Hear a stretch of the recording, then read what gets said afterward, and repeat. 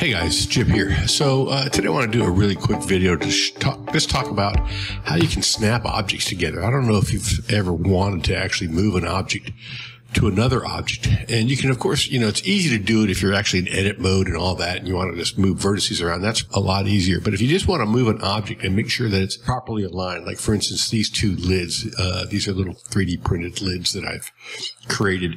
And if I want to snap one on top of the other, that can be quite a bit more difficult because if I go into my snap mode and say vertex closest and just turn it on and say gee, you'll see that, you know, I'm trying to line it up and it's trying to snap everywhere, but it's not giving me the place that I want to snap. So that's not going to work. So how do I do it? Well, uh, there's an easy way and there's a hard way. Let me go through the hard way first, which doesn't require any add-ons. And by the way, I know there's all kinds of add-ons to, to, uh, uh, make this easier, but I've got one add-on that I've been using that Jerry turned me on to for year, years ago.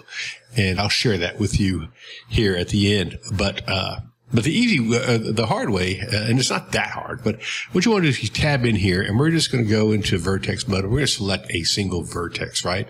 And then under mesh, we're going to say snap cursor to selected. So we've just moved the cursor here. Now we tab out of this and now under object, we're going to say set origin for this object to the 3D cursor. Now the origin is set to this for this object. As we can see, as we move it around, you see there's, there's the origin dot right there. So that's the first step. Now the next step is we're going to go in here and we're going to set the snap mode to active and not closest. So it means it's the active origin on here. And I'm going to turn this off, the snap off, because I like doing it with the control key. So I'll just move this down.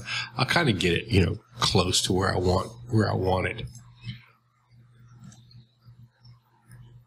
First. You know, I always do that just because it seems to make it easier. And then I'll zoom in on it and then, you know, we'll hit the G key. And then as we're moving around, hold the control key down. And now we're snapping. And you can see that we snap exactly to where we want to be.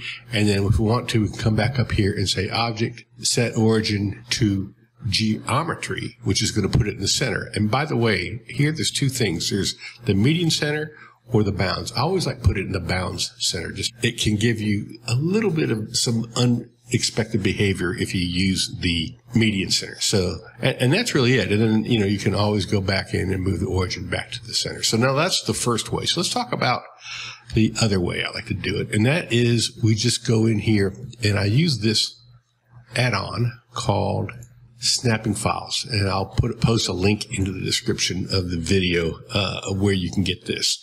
And it's a little add-on that was made by Jerry's team, that, that, which is the Hard Ops team quite a while ago, right? Don't forget to save, save purposes.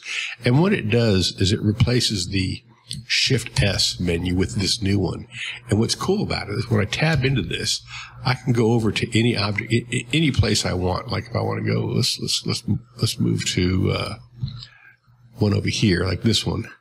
And then I can say Shift S and I can say origin to selection. So that does, takes care of actually two steps, right? So we actually ended up, you know, we didn't need to move the cursor and we just moved the origin directly there. And then of course we can say G again, hold the control key down and just snap to where we want it to be and we're going to line up perfectly. So anyway, those are the two ways of doing it. It's a really quick video, but I just thought I'd share that because a lot of times you want to do exact snaps and it's kind of difficult to figure out if you don't really know your way around some of these things. So thanks for watching. We'll see you online.